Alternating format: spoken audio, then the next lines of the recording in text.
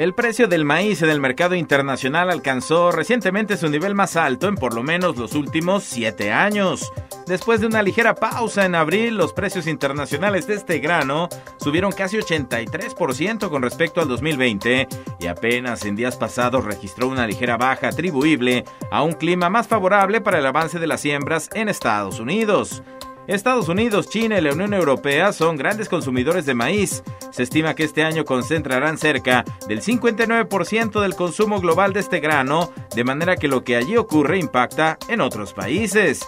En este sentido, estas tendencias en los precios del maíz se explican por diversos factores. Los reducidos inventarios de grano en Estados Unidos, los efectos de los fenómenos climatológicos como la niña en Sudamérica y sobre todo el incremento exponencial de las importaciones de maíz por parte de China para alimentar a su ganado.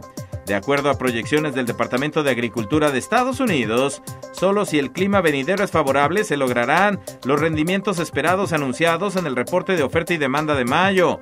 De lo contrario, muy probablemente el mercado estaría reaccionando nuevamente al alza. Si bien muchos agricultores mexicanos se han mostrado entusiastas porque comentan, hacía muchos años que no veían un panorama tan favorable para el precio de los granos, que en algunos casos ha estado en el orden de los 6 mil pesos por tonelada, esta situación también puede propiciar, como de hecho ya ha ocurrido en algunas zonas del país, un aumento en los costos de los fertilizantes y otros insumos clave. Esto podría implicar mayores precios al consumidor que incluso afectarían la rentabilidad de la agroindustria. En México, esta coyuntura de mercado plantea diversos escenarios. En todos es oportuna una transición hacia una agricultura más sustentable.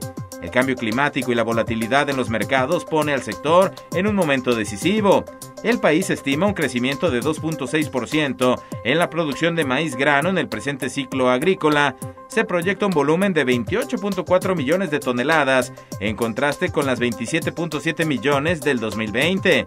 A pesar de este crecimiento, las importaciones de maíz amarillo durante el primer trimestre de 2021 también se incrementaron en más de 10% con respecto al mismo periodo, pero de 2020.